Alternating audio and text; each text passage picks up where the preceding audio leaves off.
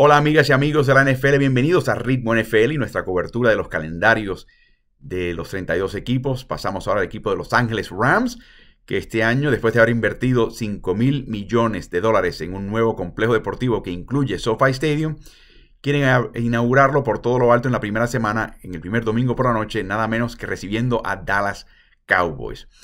Y como si eso fuera poco, la segunda semana tienen que viajar al este enfrentan cinco equipos del este, pero me imagino que harán cuatro viajes, porque en la segunda semana tienen el partido en Filadelfia y luego inmediatamente después en la tercera semana en Buffalo.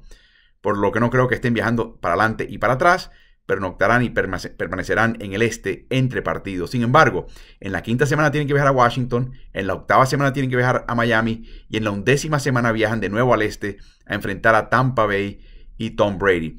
Sin lugar a dudas, Los Angeles Rams tiene el calendario de mayor kilometraje, de mayor millaje, de mayor distancia de viaje en toda la NFL y eso va a ser difícil. Inauguran estadio, mucha expectativa, inauguran tres coordinadores nuevos, nuevo coordinador ofensivo, nuevo coordinador defensivo, nuevo coordinador de equipos especiales para este equipo y mudan también a sus veteranos eh, referentes en la posición de la abierta, Brandon Cooks, y en la posición de corredor en Todd Gurley. Así que muchos cambios para este equipo.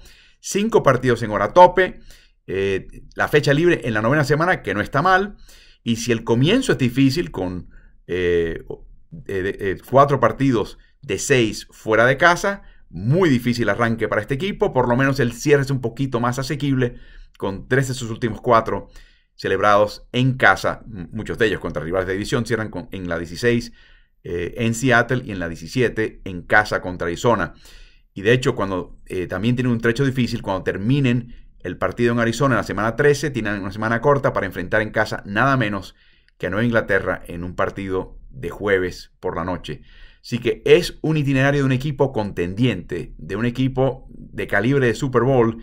Y este es un equipo que tiene muchísimas caras nuevas, muchísimos papeles que redirigir y redefinir un estadio nuevo, muchísima presión.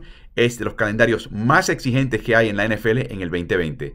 Continúa nuestra cobertura de los calendarios de los 32 equipos por todas nuestras plataformas de Ritmo NFL en YouTube, en Facebook, en Instagram, en Twitter. ¿Están en ritmo?